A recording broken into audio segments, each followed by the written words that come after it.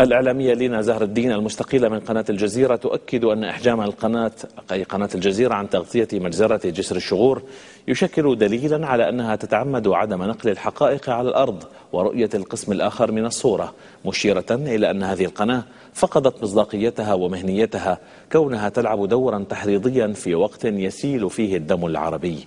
وذكرت زهر الدين في تصريحات لصحيفة السفير اللبنانية نشرت اليوم أن الجزيرة خسرت جمهورا واسعا جدا وانكسرت هيبتها وأثبتت أنها قناة الرأي الواحد موضحة أنه كان من المستحيل أن تعتمد الجزيرة على اليوتيوب وأنها كانت تمتنع عن بث أي خبر أو صورة قبل التأكد منها عبر مصادر مختلفة. في حين أصبحت اليوم تعتمد على الإنترنت كليا بذريعة أن ليس لديها مصادر أخرى. كما اعتبرت الإعلامية زهر الدين أن الجزيرة خلعت ثوبها في تغطيتها للأحداث العربية وتحولت إلى رأس حرب لما يجري في المنطقة مشيرة إلى أن سياسة المحاور هي المعيار الأساسي في التغطيات الإعلامية التي لم تعد مجرد تمرير رسائل سياسية وإنما خوض حروب من خلال الشاشات.